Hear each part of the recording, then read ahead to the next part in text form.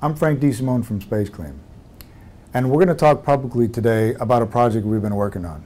Now, everyone knows that SpaceClaim is the fastest and easiest way to create, edit, and repair 3D geometry. Users love it because they know what they want to do, and SpaceClaim helps them to get it done.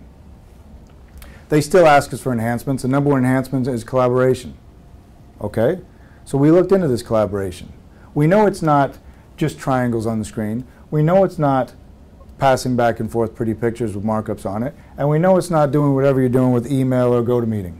So this is how real collaboration gets done. That means true interactive 3D modeling from clients to host, from host to clients. Imagine any SpaceClaim user inviting any number of colleagues to model interactively. That means shared selection, shared visibility, and shared actual modeling. Now, soon we'll share all the details about this, but it's really important to note that we found a use of cloud technology that will actually be appreciated by users. We never could have done this if we hadn't made it fast, fully interactive, and simultaneous to the user. And we had to have worked on multi-touch for years to get this interaction right. No one else is working on this. You can only find this from SpaceClaim. It's going to be available in beta in a few weeks, and it'll be widely available in early 2014.